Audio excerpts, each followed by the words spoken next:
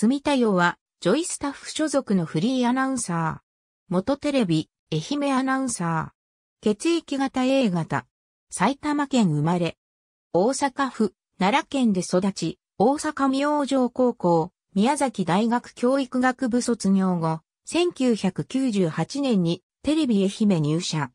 一番出し、イービシスーパーニュースを川添悦子、一式目は高山恵子、橋本理恵と担当。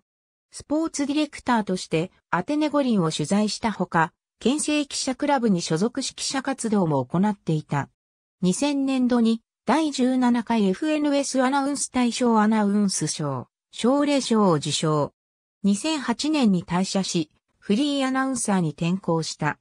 現在は J スポーツでラグビー、卓球、フィギュアスケート実況、ワウワウでテニスゴルフラグビー実況も行っている。